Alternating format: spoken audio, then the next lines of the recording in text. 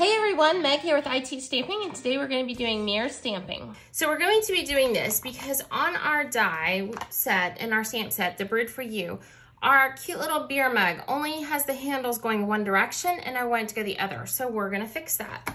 To do that, we're going to need our Stamparatus and also our silicone mat. You can use the silicone mat for so many things, but especially for this technique.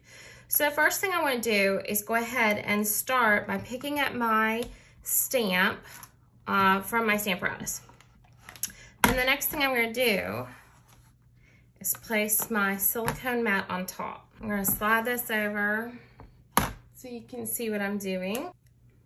I'm going to ink up my beer mug in my black ink.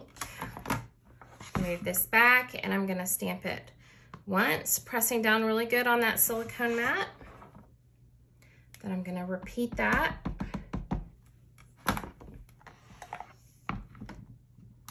Stamp it twice. And now I'm going to bring in my white cardstock. Remove my magnet, but not shift my silicone. I'm going to take this and I'm going to add my cardstock over the top, use my magnet, and stamp. So the reason we want to stamp again, and I didn't re-ink, but the reason we want to stamp again is because then we're going to have our stamped image on both sides. That's going to line up perfectly. All right, so now the other one we just get to stamp as normal so it doesn't matter as much. I'm just gonna take this, ink it up, flip it over and stamp. All right, so now we're ready to fill our mug. We don't need the mat under there anymore. Pick up that stamp. I'm gonna ink it up with crushed curry. We're gonna flip it over. Now we're going to remove our magnet and this time we're going to flip it over. We will need to realign our stamp.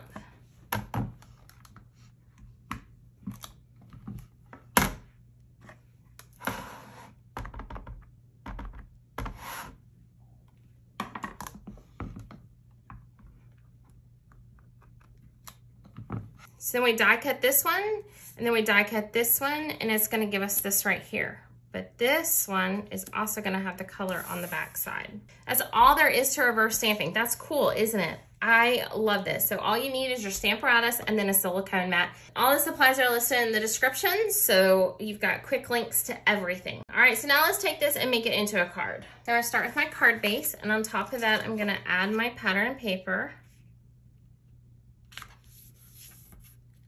Then I'm gonna add more pattern paper flush to the top of that yellow pattern.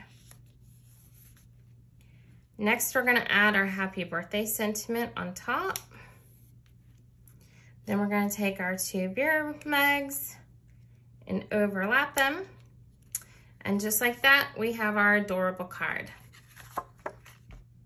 Now, if you like this video and you want to see more like it, make sure to subscribe to my channel, I Teach Stamping. Also, make sure to head on over to the I Teach Stamping blog to find out more about this project and also to make sure you are on my email list. I don't want you to miss a single thing that I send out.